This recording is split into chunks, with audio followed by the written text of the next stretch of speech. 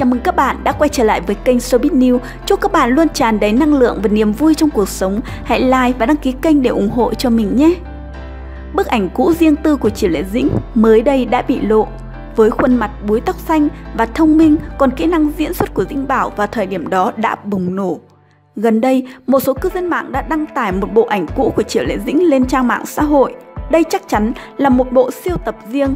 Có lẽ hình ảnh này chưa một lần được công bố. Rất nhiều người hâm mộ của Triệu Lệ Dĩnh đã đến xem, thậm chí còn nhiều người hâm mộ đã bắt đầu đặt câu hỏi Đây có thực sự là Triệu Lệ Dĩnh không? Triệu Lệ Dĩnh trong ảnh mặc trang phục kinh kịch màu đỏ. Hóa ra, đây là ảnh tĩnh của Triệu Lệ Dĩnh trong Japanese Pavilion in the World. Hồi đó, Little Z của Triệu Lệ Dĩnh đã nổi tiếng đến mức được cư dân mạng khen ngợi.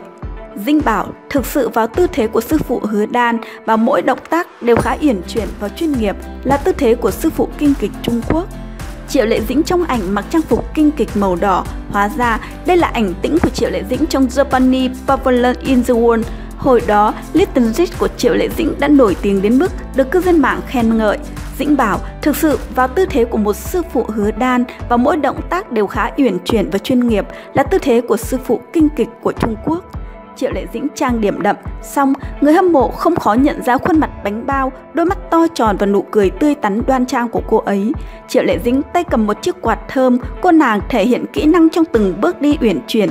Cư dân mạng đã bị thu hút bởi động tác uyển chuyển rất chuyên nghiệp của cô. Thời điểm đó, Dĩnh Bảo còn hơi mập, đôi mắt to tròn ngấn nước, trông khá đáng yêu. Fan thậm chí còn khen ngợi Triệu Lệ Dĩnh có độ giống cao với Kim Minh trong bộ phim Cỏ ven sông xanh.